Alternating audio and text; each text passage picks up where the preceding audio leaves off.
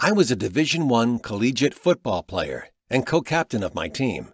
When my son began to play youth football, he told all his friends how great I was. While I was pleased he was proud of me, we had a little chat about not bragging. Then something bad happened. My fellow co captain developed cognitive problems and became depressed. The doctors suggested he may have the brain disease known as CTE. When I read about CTE, I learned it develops by reason of head blows to children. My teammate played five years of youth football, and that initiated the disease, long before he played in college.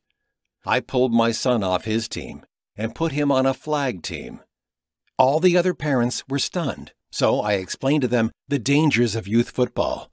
And then the other kids joined the flag team. The kids are having just as much fun, but aren't getting their heads hit. I told my fellow co captain what I'd done. He was pleased something good came out of his illness. He asked me to tell everyone his story, to save a young person from harm. So, I'm telling you. Please tell another. Football is great as long as it's flag under the age of 14.